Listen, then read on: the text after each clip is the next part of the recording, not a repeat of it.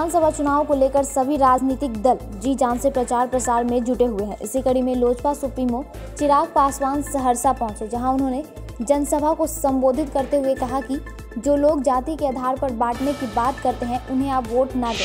हिंदू को मुसलमान से लड़वाने का काम करता हूँ, अगला को पिछड़ा से लड़वाने का काम करता हूँ, जो दुर्गा भक्तों के ऊपर मुंगेर में जाकर गोली तक चलवाने का काम करता हूँ, ऐसे मुख्यमंत्री को बने रहना चाहिए क्या इसीलिए साथियों, आज आप लोगों से आग्रह करने आया हूँ कि अगली सात तारीख को जो चुनाव है, सोच समझ कर मतदान करने की ज़रूरत है। अगली सात तारीख को जो मतदान होगा, वो आने वाले बिहार का भविष्य तय करेगा। जो मुख्यमंत्री सिर्फ़ हम लोग को जाति में बांटने की बात करता हूँ, जबकि ईमानदारी है कि बिहार में अगर कोई एक जाति है तो वो सिर्फ़ और सिर्फ़ गरीबी की जाति है।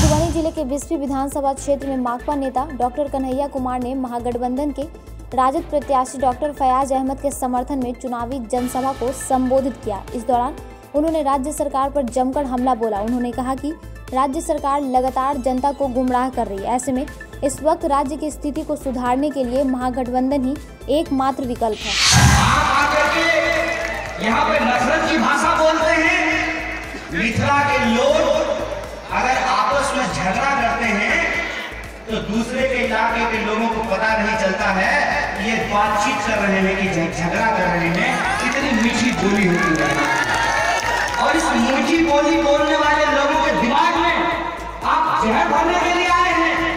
आप समाज को बांटने के लिए आए हैं। तो मैं आपको कह देना चाहता हूँ कि ये पाँच पार्टियों का गठबंधन है।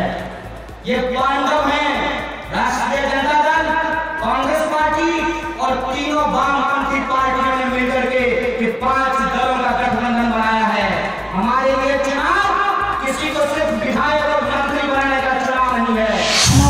पुलिस द्वारा एक निजी चैनल के पत्रकार अर्नब गोस्वामी को गिरफ़्तार करने के विरोध में जहानाबाद में विद्यार्थी परिषद के द्वारा जुलूस निकाला गया। इस दौरान विद्यार्थियों ने महाराष्ट्र के मुख्यमंत्री उद्धव ठाकरे का पुतला फूका। वहीं प्रदर्शन कर रहे विद्यार्थियों ने कहा कि इस मामले में सुप्रीम कोर्ट को आगे आना चाहिए। महाराष्ट्र सरकार का नेतृत्व करता उद्धव ठाकरे का पुतला दहन किया गया। यह पुतला दहन अर्नब गोस्वामी के ऊपर बदले की राजनीति से प्रेरित होकर के जो किया गया है उसको लेकर किया गया। कुछ लोगों का एक बड़ा सवाल विद्यार्थी परिषद से पूछा भी जा रहा है कि आप अर्नब गोस्वामी का समर्थन कर रहे हैं क्या?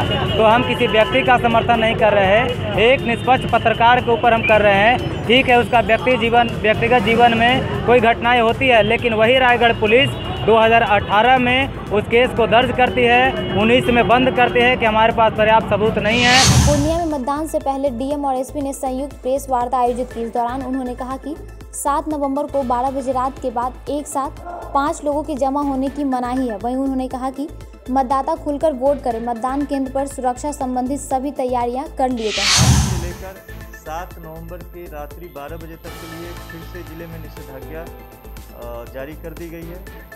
इसके अंतर्गत जो निर्वाचन कार्य से जुड़े हुए लोग या मतदाताओं की पंक्तियों को छोड़कर पाँच से अधिक व्यक्तियों को एक जगह जमा होने की मनाही है। जहानाबाद ज़िले के कल्पा गाँव के सीआरपीएफ के जवान के शहीद होने की सूचना के बाद पूरे इलाके में शोक की लहर दौड़ गई। आपको बता दें कि कल्पा गाँव के निवासी गोपाल शर्मा सीआरपीएफ के जवान थे। वहीं छत्तीसगढ़ में नक्सलियों के खिलाफ चलाए जा रहे ऑपरेशन के दौरान इलेक्ट्रॉनिक जाल की चपेट में आने से उनकी मौत हो गई। जहानाबाद ज़िले के परसबीघा गाँव में सड़क दुर्घटना में एक व्यक्ति की मौत हो गई। मृत व्यक्ति की पहचान डेहरी गाँव निवासी कामेश्वर राम के रूप में हुई है। बताया जा रहा है कि टेंपो से गिरने के दौरान कामेश्वर राम को गंभीर चोटें लगी हैं, जिसके बाद अस्पताल में इलाज के दौरान उनकी मौत हो गई। वहीं पुलिस ने शव को पोस्टमार्टम के लिए भेज दिया। कैमूर में धान के कटनी के बाद खेतों में अवशेष जलाने पर रोक के संबंध में कैमूर डीएम ने प्रेस वार्ता आयोजित की। इस दौरान उन्होंने कहा कि कटनी के बाद भारी मात्रा में खेतों में अवशेष बच जाता है, जिसे किसान जलाते हैं। लेकिन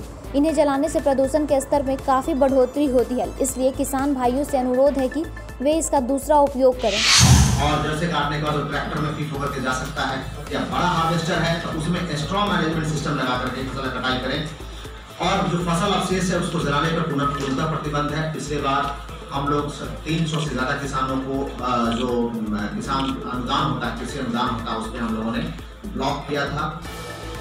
दूसरी बात की फ़सल अवशेष प्रबंधन हेतु कई यंत्र है, जिस पर की पचहत्तर प्रतिशत अनुदान दिया जा रहा है। मतलब कि आपको मात्र पच्चीस रुपये, सौ रुपये, पच्चीस रुपये लगाना, पचहत्तर रुपये आपको सरकार अनुदान दे रही है बात है। मुंबई पुलिस द्वारा पत्रकार अर्णव गोस्वामी को गिरफ़्तार किए जाने के विरोध में गया में हिंदू युवा शक्ति संघ सहित अन्य संगठनों ने विरोध प्रदर्शन किया। इस दौरान उन्होंने महाराष्ट्र के मुख्यमंत्री उद्धव ठाकरे, गृह मंत्री अनिल देशमुख और कांग्रेस अध्यक्ष सोनिया गांधी के खिलाफ जमकर नारेबाजी की।